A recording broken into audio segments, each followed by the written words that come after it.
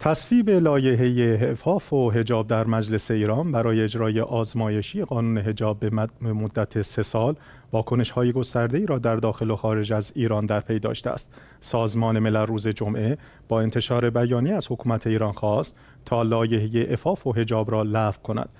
دفتر حقوق بشر سازمان ملل همچنین از تصویب این لایحه در مجلس ایران ابراز تأسف عمیق کرده و گفته مجازات زنانی که پوشش حکومتی را زیر پا می‌گذارند بر اساس این قانون به طور چشمگیری افزایش می‌یابد.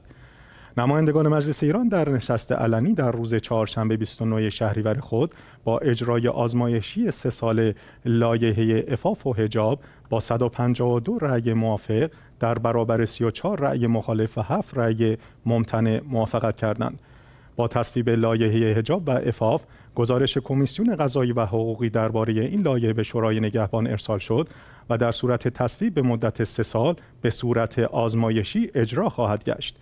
به گفته نمایندگان این لایحه در حال حاضر دارای پنج فصل است که بیشتر فصلهای آن مربوط به تعیین تکلیف برای دستگاه ها برای برخورد با شهروندان بر سر حجاب است.